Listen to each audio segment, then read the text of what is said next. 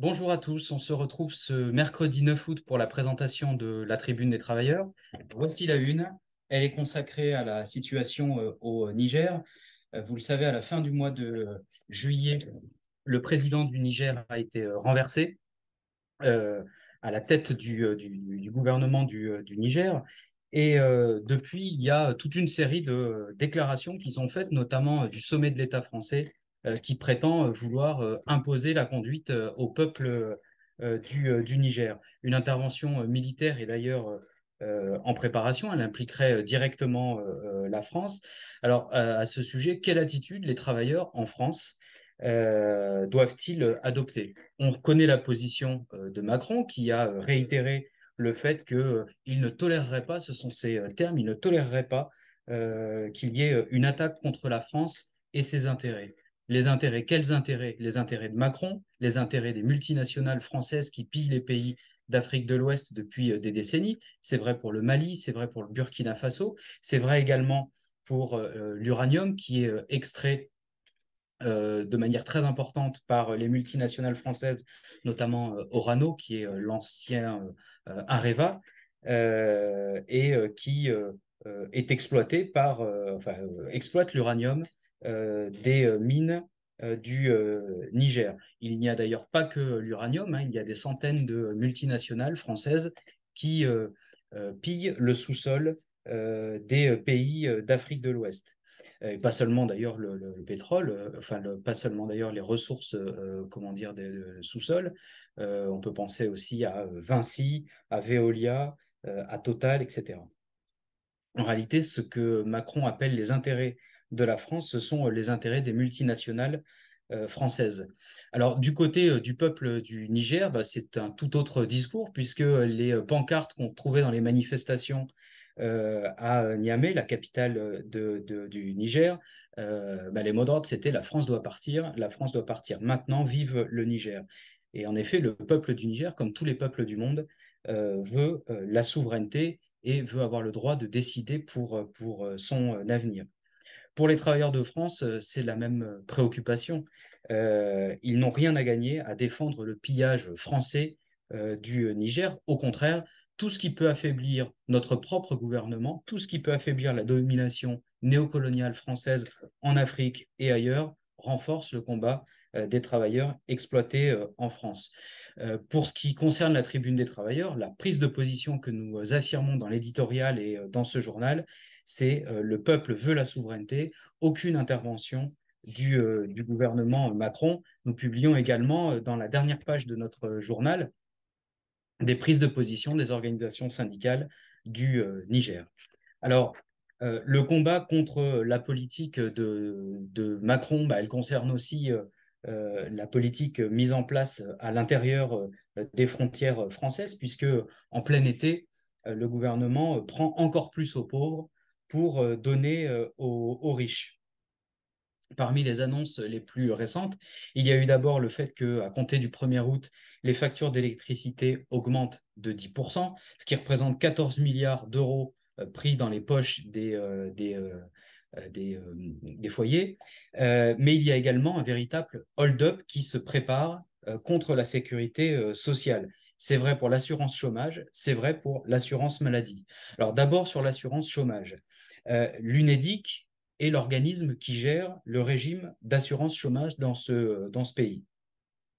Elle vient d'annoncer un excédent de euh, près de 19 milliards d'euros pour la période 2023 à 2025. Eh bien, le gouvernement, euh, ça ne lui a pas échappé. Il a donc décidé de dépouiller l'UNEDIC de 11 milliards d'euros pour financer les patrons sous couvert de financer euh, l'apprentissage et aussi pour financer son plan euh, appelé France Travail, qui est la nouvelle entité qui servira entre autres à sanctionner les allocataires du RSA s'ils ne réalisent pas 15 à 20 heures d'activité par semaine. Donc, on prend l'argent de l'assurance chômage et le gouvernement détourne cet argent au profit des capitalistes. Deuxième euh, hold-up, deuxième partie du hold-up, l'assurance euh, maladie. Alors, dans le viseur du gouvernement, depuis plusieurs mois, on le sait, il y a euh, les, arrêts, les arrêts maladie. La Caisse nationale d'assurance maladie est en train actuellement de traquer, véritablement de traquer les médecins qui sont jugés surprescripteurs, c'est-à-dire qu'ils soigneraient trop, ils donneraient trop de médicaments, ils feraient trop d'ordonnances. 15 000 sont sous surveillance, c'est ce qu'indique le quotidien du, médecin. Euh, et ce qui provoque un véritable tollé des médecins qui disent que bien souvent, euh, dans la plupart euh, des, cas, les prescriptions sont liées à la dégradation des conditions de travail, à une augmentation du stress, au surmenage, au harcèlement, qui fait que eh bien, les prescriptions qu'ils fournissent sont plus importantes qu'avant. Le gouvernement, ça, ça ne lui convient pas. Il faut faire la chasse aux médecins qui donnent trop de médicaments, c'est-à-dire qui soignent trop. Parmi les mauvais coups euh, du euh, gouvernement en plein été, il y a aussi l'annonce du doublement des tarifs des franchises. Les franchises euh, médicales, vous savez, c'est ce, que qui doit être payé au moment où on voit un, médecin ou alors quand on va à la pharmacie. quand on va voir le pharmacien, pour, quand on achète une boîte de médicaments, eh bien, il y a toujours 0,5 euros qui doivent être payés de notre poche. Eh bien, le montant pourrait être multiplié par deux. Il faudrait euh, sortir 1 euro par boîte de médicaments, mais euh, également la participation forfaitaire qui doit être payée lorsqu'on va voir un médecin euh, pourrait être multipliée par deux. Aujourd'hui, lorsqu'on va voir un médecin, quand on a une consultation, qu'on a une radio ou une analyse médicale à, faire, eh bien, on doit payer 1 euro de, participation forfaitaire de notre poche. Eh bien, ce, cet euro pourrait être doublé et ce serait 2 euros. Encore une fois, c'est les malades qui sont visés. Et pendant ce temps-là, hein, le gouvernement prend encore plus aux pauvres pour donner aux riches, puisque euh, les nouveaux, euh, comment dire, les nouvelles annonces euh, des, comment des comptes et des résultats semestriels des entreprises du CAC 40 euh, bah, il y a encore de nouveaux euh, profits. Les 38 groupes qui composent le, CAC 40 euh, ont donc publié leurs chiffres. Ils battent tous les records. C'est plus de 80 milliards d'euros qui sont annoncés simplement sur ce semestre. Alors on retrouve les grands groupes Renault, Nestlé, Air France, Vinci, Bouygues, etc. Toujours plus d'argent pour, pour les riches et toujours moins pour les, les travailleurs et, et leurs familles. Voilà ce que vous trouverez cette semaine dans la Tribune des travailleurs parmi les principaux articles qui sont évoqués.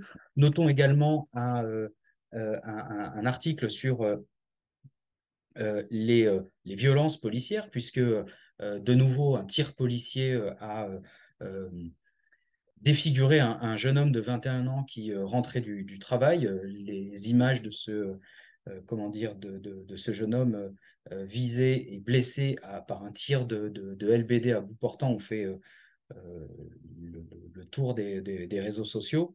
il a eu la mâchoire cassée, des médecins ont dû enlever une partie de son crâne pour pouvoir le sauver, et la brutalité de l'interprétation est telle que le policier a été placé et maintenu en détention provisoire par le juge, ce qui a provoqué une réaction d'un secteur de, la police, et particulièrement de la hiérarchie policière, qui revendique que la règle euh, commune, la loi commune, ne s'applique plus euh, aux policiers. C'est d'ailleurs le directeur général de la police nationale qui, euh, courant juillet, a revendiqué d'abord la libération d'un policier écroué par la justice et a explicitement revendiqué que les policiers soient débarrassés de la loi commune, ce qui est sans précédent. La presse revient sur ces, ces, éléments. Nous donnons euh, dans la tribune des travailleurs une position sur euh, cette question. Il se trouve que le ministre de l'Intérieur, Darmanin, s'est dit prêt à une réflexion pour exclure les forces de l'ordre du régime de la détention provisoire, ce qui en réaction a amené des magistrats à faire savoir qu'ils étaient inquiets de cette dérive policière. Ce qui est sûr, c'est que la crise ouverte entre l'institution judiciaire et l'institution policière, c'est celle de l'État lui-même.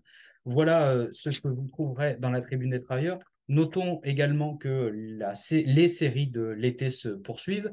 Cette semaine, parmi les portraits de militants euh, ouvriers, celui de Bhagat Singh. Euh, c'est un jeune révolutionnaire indien assassiné par pendaison par le vice-roi des Indes en 1931 du fait de son combat pour l'indépendance, pour le socialisme en Inde.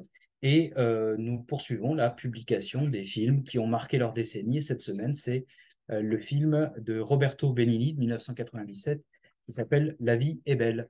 Voici euh, ce que vous trouverez cette semaine dans la Tribune des travailleurs. Au revoir.